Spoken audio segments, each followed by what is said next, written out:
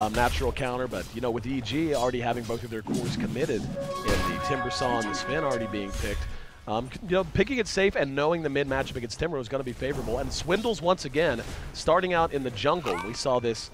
Um, we've seen this basically all throughout the qualifier. Swindle's a very outspoken critic of the way that uh, Iron Talon has changed the game and the way it's really modified the way offlane works, or more to the point, doesn't work.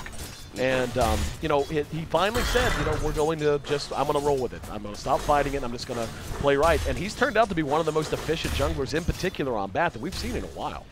The uh, I think he really learned his lesson early on, earlier on in this qualifier. I think Yep. against FDL, he had five deaths in six minutes. Uh, as the offlaner, just kept trying to make it work for for some reason. Uh, I think that that was a very hard slap in the face that woke Swindles up and it was like, okay, Iron Talon every game. If, if Universe is doing it, I can do it. If Universe is doing it on Darkseer, one of the few offlaners that's supposed to always lane, uh, you know, if, if he's abandoning the lane to, to Iron Talon jungle, then why aren't you? Yep. You know, it, it's just so efficient. It- it's not worth the risk, essentially. Sad day, man. Sad day. I miss the old suicide Yeah. lane. Approach Courier takes a beating on the head, but nothing going to come of it. Early CS, we can see Sven's leading the way. Jug's right there with him. Timber's actually getting the better of mid, but just barely. I shouldn't say just barely. It's actually about like 20% or so. 19 to 15 of Medusa, so favorable lane there. So we're three and a half minutes in. Things have settled down, and the dust has settled as well. What do you think of the laning phase, how it's going to play out over the next, say, seven minutes here, Cap? Um, well, a couple things. I really like the Poor Man Shield as the and the Quelling Blade choice of the Timbersaw. It's really helping out his CS, as you pointed out. He's got a good lead, and a big part of that is uh, very similar to Zeus, actually. Uh, both these heroes were actually harmed in their mid lane by the, the range creep having uh, such a heavy experience impact in the lane. Right. And you can see every single time he goes for this Mystic Snake, he brings the range creep low, and Timbersaw goes for the deny, and that's why the CS differential is so big. Um, and it's good. It really impacts their experience too. If you notice, they're actually even on experience, but they've got a whole wave here to Timbersaw's favor. Radiant's And let's not forget that attack. Limp was also part of some early kills that got him a jump in experience as well. So this is this is something that uh, is is actually having an active uh, impact in the lane, but you're still being able to run a Deuce mid, and that is just nice to be able to say, right? That Deuce is going to be doing all right and mid, is going to be farming. It's a tough hero to gank, first of all. I mean, Lion and Vengeful Spirit don't actually have a job here. They're, they're putting pressure on bottom lane because now there's an Earth Spirit Bat Rider, but otherwise, like, what do you do? You, you can't really gank the, the Deuce very well because Timbersaw is not a he- hero that like allows you to gank forward. Like once he hits level six, there's something, but as he hits level six, then Dusa might have Stone Gaze at that point. Right. So again, it's just like once you get that pro for the timber saw, there's a con of facing a, du- a Dusa with Stone Gaze. I was just kind of thinking about that too. Is you know, EG's got a fairly well-rounded lineup, good at team fight, pretty good late game, you know, et cetera, et cetera, et cetera. Complexity has, I think, a sneaky, sneaky, deceptive or sneaky defensive lineup. They have offensive potential, and they certainly have the ability to go late, and they have the ability to gank around. I mean, any lineup with a Batrider or spirit is going to be able to carve the map up uh, throughout all, most phases of the game. But in terms of actually trying to accomplish anything and trying to take an objective or take a fight on your own terms, unless you just catch complexity completely asleep at the wheel, they have so many answers to bail out not just individual heroes, but their entire team out of trouble. And they have the ability to regen very quickly. Now they're going to go right on Sumail. There's a kickback into range of the tower. Faerie Fire will be consumed. Here comes Handsken. We'll get off the stun, and that's going to catch a couple. There's the magic missile from the high ground, though. Sumail does manage to make it away Limp. Able to make it away as well. Just limp his way away. And Zfreek makes it back to the safety and succor of his own tower, but not before Chessie was required to TP mid to keep things stable. In the meantime, there's a Hex on the Swindles. Follow up with the Earth Spike. Fear's going to throw the Stormhammer as well. He went straight God Strength. Can they get him? And yes, the Timber's there with a double kill for Sumail. So that's going to get EG right back in the thick of things, four to five. I'm not sure why Complexity chose to try and gank uh, a Timbersaw like that. There was even uh, Zfreek trying to do it earlier when he did that roll in and went for the courier and that sort of stuff. Like, even though you caught Sumail without mana, it doesn't matter. The, the hero, like, the, the Oracle kind of made it close just because the nukes to the Oracle are, are, uh, are rather absurd.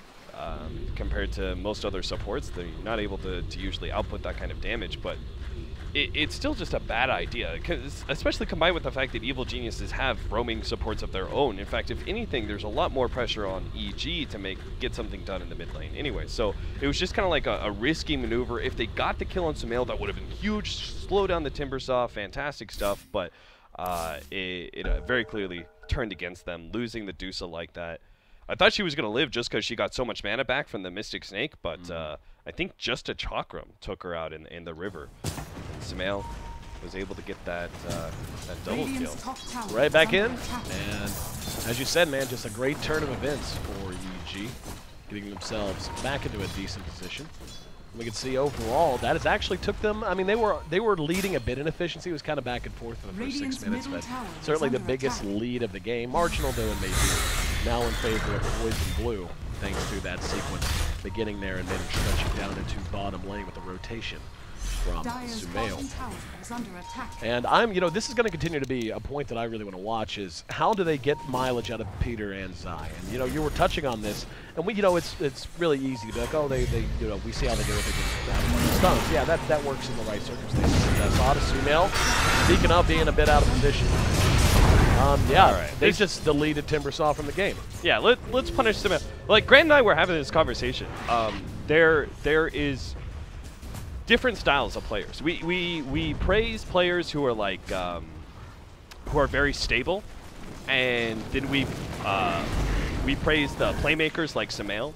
And the thing is, is that those are those are two different play styles, and they have their pros and cons. Sumail's playmaking, you know, style has its downside, where he will make a play like that, where he goes past, way past the tier one tower in a place Right. he knows he's going to get punished in. No, uh, no successful rotation there at the top lane, but like that, that should, but that's what Sumail Right. does. Sumail can go really big sometimes by playing or like very hyper aggressive, and when he succeeds, he can single-handedly. You can't have the game. highlight reel without the blooper reel. Yeah, exactly. So unfortunately, like that was one of those scenarios where he tries to go big and complexity do punish him. Th- but that's also the nature of Dusa. He should know that this matchup, like the the Dusa is not a hero. Just like complexity trying to gank the Timber Timbersaw. Like these are almost dead lanes in a way. That these heroes are so tanky. Speaking of going deep, is under. Sumail No thought Sumail. about continuing to pursue, and now he's just going to cut creeps. It looks like, yeah, with the iron showing. No help coming, and this top tier one should be EG's for the taking. In the meantime, though, Dusa just continues to farm. We can see some counter warding going on. The Sphere really wants to stack this camp, top has his Helm of the Dominator under up, so attack. wanting to get the stacks rolling. Radiant's The Earth Spirit's almost level is under 6. That's actually not too bad for him coming up on 10 minutes. Dire's Yeah, he, they're both kind of giving their supports uh, solo lane so they can get the ultimate rolling in. Could have attempted a kick from Ifri. Even conserved his boulder there, using the one that was already in lane. But otherwise, kind of same story on both sides. Evil Geniuses are going to be the ones who uh, will... I don't know, it, it, the timing is kind of weird because Juggernaut comes online faster than the Sven. Sven is naturally more of a farming hero because he's able to uh, abuse that cleave and farm up ancients. So I think Complexity are the ones who need to be aggressive with the blink on Batrider and the Juggernaut just being a little bit faster of a tempo hero than Sven. They need to be, be aggressive. They need to try and take control of the map. If they can get a like successful gank and take this tier one tower away, and that'll really limit the hold of Evil Geniuses over this Ancient stack. Um, if they could do something like that, that would be a huge win for the first 20 minutes of the game. Right. Uh, and then Evil Geniuses are going to hit a timing around 30, 35, I think, where they start getting uh, exceptionally strong. They're going to try to get there a little quicker. Oh, nice! Yep, very quick reaction from Chessie. And uh, it actually highlights a point that I was uh, just going to bring up, which is EG is extremely reliant on Blink daggers. And, you know, speaking of Blink, we see one coming out of the bat. Radiant's bottom But in terms of initiation, they basically got the Timber who can go in and be a meat shield, and that's fine. But EG's really not going to feel as threatening as their lineup would dictate until we see at least one Blink Radiant's Dagger on Zai. It would help a lot to have another one on Sven, perhaps. Yeah. And maybe one on Darkseer even, um, as you get through the, as you get past like Mekansm, speaking of, Mech Yeah. just comes out now. Whereas Complexity, no matter what, is going to have the Earth Radiant's Spear to get in and really kick things off. And once the Batrider has his way now, it's going to be very difficult for them to not have this happen, which is, not, you know, it's tough to say he's out of position when he's standing under his own tier one. But, you know, things happen whenever you have an Earth Spirit and a Bat, both initiating from different angles. That's awkward. Zai actually getting pushed out of the way. That's silence. But they'll commit the Omni Slash. I like that play from Chessie. Always willing to use it to get the guaranteed kill, like on Timbersaw earlier. Uh, this time, on design to get the extra pickup. And this is what I really wanted to see. The smoke gank, they wrap through the jungle, they ganked mid, they're going to take this tier 1 tower, and then they're going to try and control the Ancients uh, a bit more. They can't take it away from EG, because Dusa is very slow at it. You would obviously be at a, a very precipitous location on the, uh, the EG side of things. Spun But the hell out of that creep. yeah, he really did. but yeah, it, it- I think this is like strategically very sound from complexity. Like they're making very clear plays. Another thing, well, another reason why I think they're looking better. I'm not sure about their their game versus EG. I heard they just want them, but I think they look a lot better pushing high ground than they used Yes, to. yes, that was a big part of it too. Patience, just large, by and large, their patience seems to have gone through the roof. Instead of hanging around and, and being willing to take what is a decent opportunity, they wait for good opportunities, or they just continue to siege. They have no problem just slow sieging, and you know making good decisions, especially when you have an Aegis. Like if you have a ranged hero and an Aegis, just peck away from the low ground, man. You don't have to, to burst a, a, a tower down. If you're if you're far enough ahead to have them pinned inside their own base like that, stay ahead. Just get more ahead. You don't have to win at that precise moment, and that seems to have clicked. And they're just continuing to look good, man. And EG on the bad end of the stick so far as that improvement goes, trailing now eight four. I think in, in some ways, like I kind of criticized them. I almost thought they were being. Um, but it, at the same time, that says a lot of confidence about themselves, right? That I think they're changing that. That they're saying, you know, let, let, let's play it slow enough that we're forcing the enemy team to make mistakes. And I think complexity oftentimes looked at their matchup as them being the underdog. So therefore, if they hit their peak period of time, they had to play out, and they couldn't play slow because that would mean playing slow means you're trying to play enemy, you know, making mistakes. Swindles very likely to die here unless the Oracle could save him, but with the finger of death, there's just He just got got out there a bit, got caught by a hex, and Peter happened to be hiding in the trees as well. So good pick from EG. Let's see if they can do something with it. Tier one bottom. That's unfortunate because the the rest of complexity were just you know uh, they made a short little pit stop there to catch up with Limp and heal him up because he had just been farming ancients with uh, double damage. But they were going to go on this bottom lane. Now they don't have the Bat Rider, so they don't have the guaranteed initiation. And Zfreek just a bit slow to stop Zai as he picks up his fresh blink. Warhammer got two. Let's see if we win the game. They do. There's the wall. No vacuum. They don't need it. Zfreek's in a lot of trouble, and in comes Sumail. Swooping through like Batman through the back. And now, Chessie forced to blow the Omni Slash. Got nothing out of it. Mech was already on point. Fear looking for another target. They're just going to pursue Chessie down towards the shop. And they'll have no problem chasing him down. In the meantime, fight rages on, and Oracle should end up dying to damage. One would imagine. Swindle trying to turn around. Zai does get caught from behind, and no, he actually got the uh, had enough healing to keep himself alive. Ends up not as bad as it could have been for Complexity. However, EG gonna bang down this tower, and it doesn't look like Complexity has anything to say about it. Yeah, it only again, it all comes down to the fact that they were kind of like planning that that rotation, I think, to swoop through that bottom lane. But Swindles gets caught before the rest of the team is ready to go. Swindles isn't uh, isn't there in that fight. That means they don't have the guaranteed initiation, so they try and go with the Earth Spirit instead, which kind of misses. They they miss their initiation. EG get the opportunity to be able to respond. Turns against them, they've lost a tier one tower, and all of a sudden that great play strategy-wise the great play that Complexity made by smoking up, rotating through mid, taking that tier 1 tower, and lessening the hold that EG had over the map, that advantage is now effectively gone.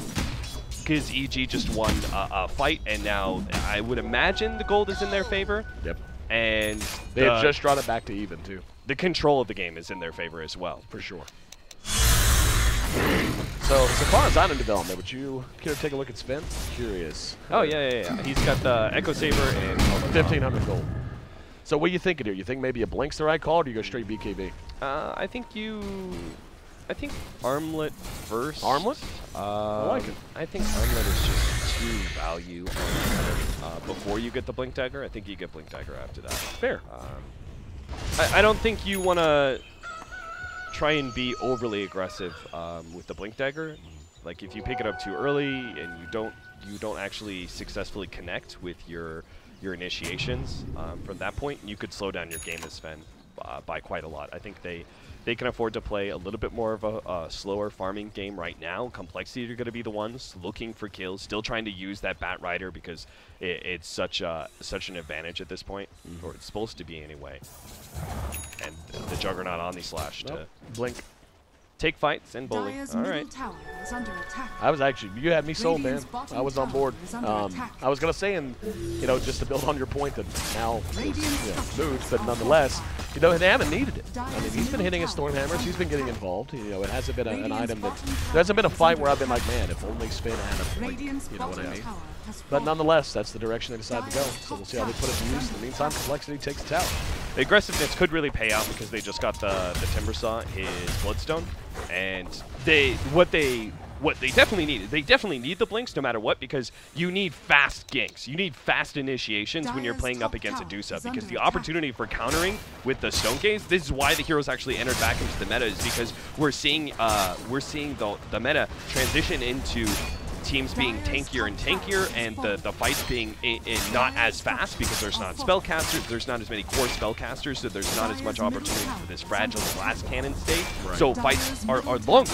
And because the fights are longer, this gives an opportunity for counter initiation. And Dusa is one of the best counter initiators in the game because of the Stone Gaze just it stops the gank entirely. Like you you just can't go further. But this is an interesting sandwich. Well, you're going to see Zfreek caught and blown up. There's an Omni Slash trying to turn it around. Now Complexity on the run. Fear, there's going to be just a one-man vacuum in the wall, but it's on someone valuable. They got Chessie with it. And he's going to be bailed out by the Oracle, at least for the moment. Buy back from the Earth Spirit. He wants to get back. In. Oh, Handsken needs a lot of damage off of Sumail's Whirling Death. Trying to follow it up. Limp does end up dropping, and now Fear caught from behind with a boulder. Do they have the damage to follow? There's a Flame Break trying to make some space. And up to the north now. Swindles tried to TP away, thought better of it. Now, very low. In the meantime, Universe tallies a double kill, and that's suddenly going to be a full five-man wipe with count 'em three kills for EG Universe. Welcome home, indeed, young man.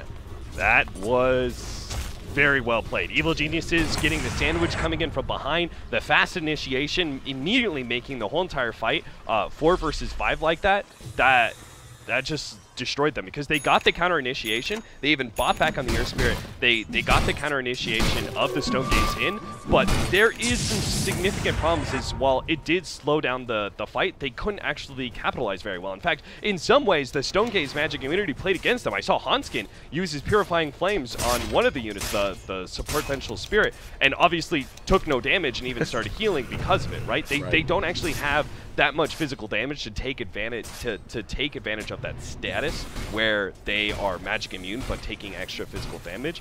Uh, all they have is the Juggernaut Omni Slash. So it it doesn't actually serve as an opportunity to get damage out. It serves as like this um, this place where it's like Naga Siren Sleep, where complexity get to reset the fight in a way and set up for the next round of abilities. But the fight was chaotic enough, and they were already at a disadvantage that they just didn't execute uh, very well. And I'm not sure how well they could have, to be honest, with the way that EG initiated. EG, rolling things up, my friend. And like you said, I, I, I, you said it best. It's what I'm seeing happen to Complexity this game is what they did to EG last game. Swindles is going to just die in his own jungle because, Yeah. Sumail. Um, just heard a Stormhammer somewhere. Yep, Limp. Eating a little bit of aggression. Beginning to see just how deadly things like Ion Shell can be whenever you have melee cores like a Timber Saw and a Sven just flying through the air, etc., etc. But, you know, the the last time these two met up, again, just a couple of hours ago, um, when Complexity got the best of EG, it looked almost exactly like this, except turned around. Complexity just coming in at good angles, making good decisions on when to engage, when not to engage, and more importantly, how to engage. And it looks like EG maybe not taking them as lightly as perhaps they Dire's did. middle tower is. Certainly not. Evil Geniuses, they were looking for a pick off here to make sure this tier 2 is going to be going down without a doubt. Complexity are not going to get picked off, and they may be able to provide the challenge here with the Bat Rider coming back up. EG, I think they would be smart to disengage. Now, it doesn't mean back away from the fight entirely. If they wanted to, they could play some high ground games, sit up here. They could try and re-engage if Complexity lose their guard, but definitely don't go into the tier 2 tower uh, fully against the Bat Rider. I think it's unnecessary at this point. Evil Geniuses still have plenty of things to farm. Oh, he's actually going to be going for straight up AC. I like it. Um, I mean, when you look at the damage output from Complexity, what real threats are there outside of the Deuce and the Jugger? I mean, it's we're not seeing. I mean, it's the, the Earth Spirit's just not feeling very scary right now. I mean, it's an Oracle's an Oracle, and as you pointed out, he just really isn't accomplishing a whole lot with what damage dealing abilities he does have. And then the Bat Rider burns whatever. They're, they're tanky enough as a, as a lineup that I don't think we can that. Here we go. Fear ready to blink. There's two grouped up, and we just see, yeah, they just have to split up and run back. Very good patience shown there. Swindles looking for a target, blinks into the trees, doesn't find anyone. Yeah, unfortunately, he doesn't have a force staff. He can't really make From a Hex. initiation. And Swindles next to drop. He's down for 45. Almost no damage done in reprisal. The tier two is certainly going to be the prize claim. Timbersaw's getting so many bloodstone charges now. Dire's middle tower They, they, I, like, a little bit of it is uh, maybe um, this Vanguard build. With the Vanguard build, they know that there's not going to be any progression in items for the Juggernaut, most likely. So they're just looking at a single core Dusa going into the late game. So as long as they can establish dominance at this point in time, the 25 to 35 minute mark, uh, I don't even think that they're going to lose late game necessarily. I think they actually still beat that out because the Juggernaut's not a threat, and then you have Timbersaw and Sven who are going to be both very, very farmed, and I think will beat out a, a Dusa quite easily. Well, if you toss it back to the draft, man, you know, it's what like we were talking about. It's um, you have an EG squad that's very reliant on blink daggers. Guess what? They got him. They got him pretty quick because they had a great early game. Now you have all this mobility, and complexity has very little lockdown. I mean, like outside of lasso, yes, then you've got this, and you're going to be able to use this every once in a while. It's basically just an, an oh shit button.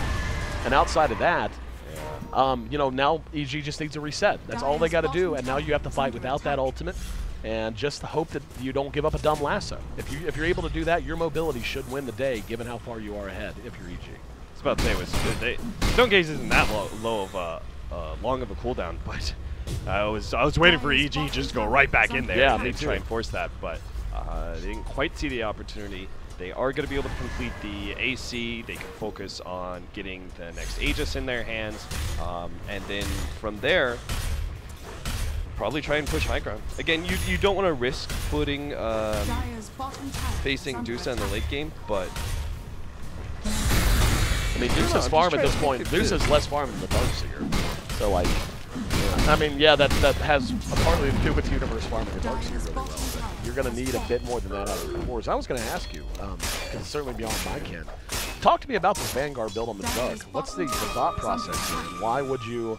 You know, I, I mean, there are the obvious reasons, which is, well, you want more health, you want to be more survivable. But in this particular situation with so much on the line, what do you think predicated the decision to go that direction for Call? I think Chessie wanted to make sure that they were dominant in that 15 to 20 minute marker. top tower is Uh, like that 10 to 20 where they were moving around. They wanted to make sure they could win fights and take control of the game. And, and Vanguard's probably one of the better early game items like that. Um, there's also something to be said about maybe there isn't going to be enough farm on the map for Juggernaut to be able to, to use like a, a Battle Fury build or something like that. But this does just mean that our Juggernaut is uh, not not that much of a factor. Uh, he's still okay now, but he's going to be less and less so if he doesn't have that kind of uh, battle the Battle Fury farm progression. that- Well, Sumail's going to get caught. If they can get him, this is a good get. Size there. Not sure they can kill him at all. Yeah, they, they, they legitimately didn't touch him. Vacuum wall caught three. Zfreek bailed out by the Oracle. Don't know it's going to last for long, though, as Handsken's going to end up dropping. Swindles can do nothing but run for the hills. And they literally couldn't touch him. And now Limp will get off the Stone Gaze. That will affect Fear. Um, he's going to be able to catch him in a, uh, four seconds. Yeah, Side. he's yep. got him. And he's going to drain all of that mana. Goodbye. Hammer coming. And he may get two here. There's the two Jokum swap there from PPD. Brings Limp right back into the thick of things. There's the Storm Hammer. Chessie's down next. And my friend, I believe the Death Rattle, the last gasp of complexity, might be what we're hearing in our ears aside from a lot of spinning, whirling blades. Double kill for Sumail and EG, showing why they were the favorite coming in, and they're very well going to be the favorite going out.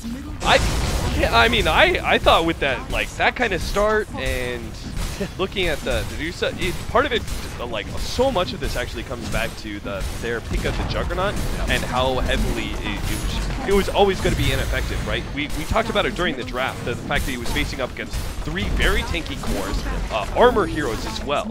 Like, Darkseer has a lot of armor naturally because he picks up mech, and then eventually he's going to get uh, other items he may be consider like the Shivas, Sven, very tanky from physical damage, has Warcry, is, you know, in this game has a very early AC in, Timbersaw as well. So Juggernaut was never going to have a good game. And Complexity basically throwing themselves on the altar of Dota, sacrificing to Lord Gaben and hoping for the best.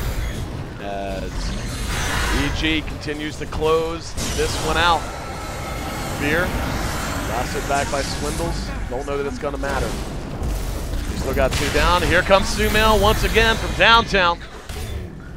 The long arm of the uh, what's his name? I couldn't remember his actual Uh, yeah, war Riz- name. Yeah, right. Ri- it's, it, it starts with an R. Ri- Rizzle. Yeah. Rizzle. Rizzle. Like, Yeah. like Ash from. Uh, It's not Rattletrap, it's that's Clockwerk. no, exactly. Well, I'll tell you what it is. It's a good game, as that's called, and Sumail, whatever his his character name happens to be, ends it with a triple kill and cap. This is the EG that, despite a stumble against complexity earlier today, this is the EG that we've seen throughout most of the best of ones, and the EG that ends their run in the best of ones in true form. They just lay it on cold down the stretch, 25 to 10 in a sub 30 minute game. What a performance! What uh I mean these these teams persevered, right? Evil Geniuses in Secret. They they both went through the open qualifier and they are now going to TI. That is that is really cool because the open qualifier as well as the regional qualifiers are are both very tough. Like people can um, people can talk about like the American qualifier regional being weak, but the American Open qualifier was not right? Yep. It, it actually um, had pretty tough, and going best of ones, that's a scary, scary outlook. And even if the lower, the even if it's very top heavy, you still had both DC and complexity, both like rather strong teams. And again, in best of ones, you don't know what's going to happen. Yep. So it's all the more impressive that Evil Geniuses were able to make through all of that. And same goes with Secret, going through the European qualifier, which is uh, quite the The feat. quite the feat. uh, that's a scary one for sure. So, uh, props to both those teams, man. Uh, you know, we just as easily could have seen, you know, one of the one of these two teams not making it through the open Oh, yeah. qualifier, but they they definitely put in a lot of work. Right Yep. when they broke apart and they got back together, they put a lot of work to make sure that their game was going to be clean enough to make it through all this best of one hell. Yep, best of one hell. That's a, that's a really nice way to put it, my friend. And uh, best of one hell ends for both these teams. EG, as you said, punches their ticket to Seattle. Complexity down but not out. They're going to be matching up starting again tomorrow as they're looking for a wild card slot along with a few, uh, along with others. So make sure you stay tuned. We're done for today. I'm Ayesee, the guy beside me, sexy as he is. That's Capitalist, and it's been an unbelievable pleasure casting today, casting throughout the qualifier. Uh, we both still got some work to do looking ahead, so in the meantime, make sure you stay tuned to BTS, the variety of streams, all here on the TI6 qualifier coverage, the America's Best of One. Uh, completes, and we can see we actually just got the update there. Uh, five and one, five and one for complexity with the final standings. They just faced off. Obviously, EG moves on there. And Digital Chaos at four and two. FDL three and three. Void Boys three and three. Then one and five and zero and six for the Drunk Boys, Drinking Boys, and Vultur. With that, on behalf of myself and of course Cap, take it easy, and we'll see you soon.